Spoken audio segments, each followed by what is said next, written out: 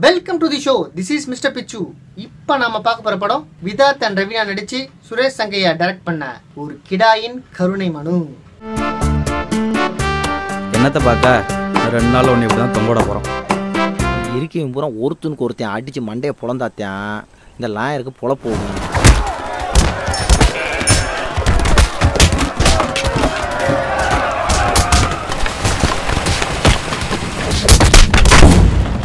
கோயிலுக்கு போனவங்க கடைசியாக கோர்ட்டில் வந்து நிற்கிறீங்க விதாத் அண்ட் ரவினா புதுமண தம்பதியினர் ஒரு ஆடை பலி கொடுக்கறதுக்காக ஊர் மக்கள்ல ஒன்று சேர்ந்து குலதெய்வ கோயிலுக்கு லாரியில் போகிறாங்க விதாத் லாரி டிரைவர் கிட்ட வண்டியை நான் ஓட்டுறேன்னு லாரியை கொஞ்சம் வாங்கி ஓட்டுறாரு. குலதெய்வ கோயில் கிட்ட நெருங்குற இடத்துல எவனோ ஒருத்தன் பைக்கை லாரிக்கு அடியில் சொருவிடுறான். அந்த ஆக்சிடென்ட்ல அவன் இறந்தும் போயிடுறான். அந்த பாடியை ஒரு நாள் ஃபுல்லா அந்த லாரியில போன மொத்த பேரும் மறைக்க ட்ரை பண்றாங்க.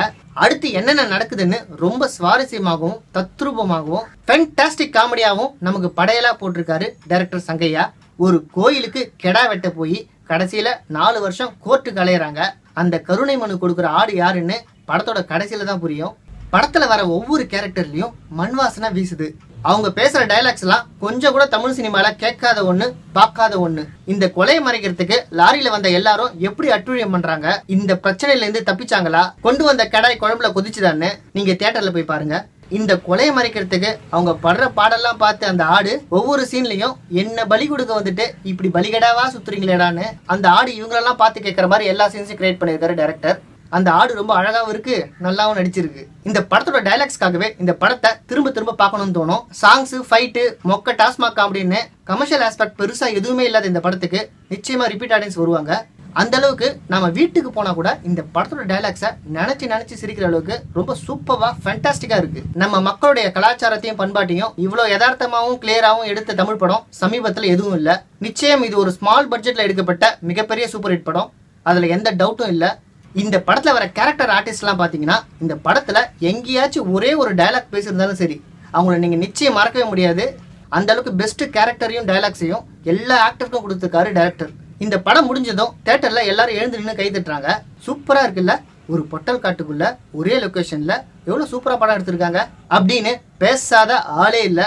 ஒன்றும் இல்லாத இந்த கேஸை எப்படி வக்கீலும் போலீஸும் நாலு வருஷம் கோர்ட்டில் இழுக்கிறாங்கன்ட்டு அவங்களுடைய திருட்டுத்தனத்தை ரொம்ப தத்ரூபமாக காட்டிருக்காங்க. ஃபென்டாஸ்டிக் ஸ்க்ரீன் பிளே இயல்பான ஆக்டிங் பக்கா டயலாக்னு படம் ரொம்ப கிரிப்பாக தெரியறதால சின்ன சின்ன மைனஸ்னு படத்தில் எதனா இருந்தாலும் அது ஒன்றும் பெருசாக தெரியல. ஸோ இந்த அரிதான படத்தை மக்கள் குடும்ப குடும்பமாக போய் பார்த்து கொண்டாடணும். படத்துடைய ஃபோட்டோகிராஃபி எடிட்டிங்லாம் வேர்ல்டு கிளாஸில் இருக்குது இப்போதைக்கு இந்த படம் பெர்லின் ஃபிலிம் ஃபெஸ்டிவலில் பார்ட்டிசிபேட் பண்ணியிருக்கு. மேபி நெக்ஸ்ட் இயர் ஏகப்பட்ட அவார்ட்ஸ்களை இந்த படம் வின் பண்ணலாம்.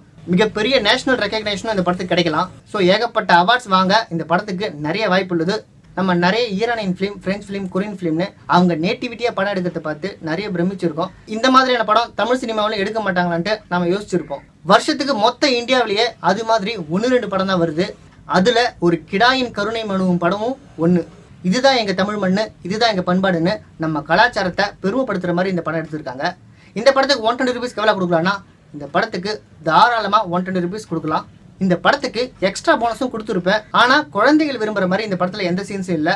இந்த படம் only for matured audience so bonus mark இந்த படத்துக்கு கிடையாது. ஸோ இந்த படத்தை ஒரு நார்மல் படமாக வச்சு பார்க்காதீங்க. இது முனியாண்டிக்கு நேர்ந்து விட்ட கெடா. ஸோ இந்த ஆட்டை திருட்டுத்தனமாக போய் பார்த்தீங்கன்னா தெய்வ குத்தம் ஆகிடும் இந்த படத்தை தேட்டரில் போய் பாருங்க. கொடுக்குற காசுக்கு தகுதியான படம். இன்னைக்கு ரிலீஸ் ஆன படத்திலே த பெஸ்ட் ஃபிலிம் ஒரு கிடாயின் கருணை மனு. அதனால பே வாட்ச் போங்குன்ற நான்சன்ஸ் நான்சென்ஸ் படத்தெல்லாம் பார்க்காம போய் அந்த படத்தை புக் பண்ணி பாருங்க. அடுத்த படத்தில் சந்திப்போம். மிஸ்டர் பிச்சு. சூரியனை சுட்டது யாரு? சோ சார் சூரியனை யாரும் சுட முடியாது. சூரிய வெப்பம் தான் நம்மள சுடும். ஓகே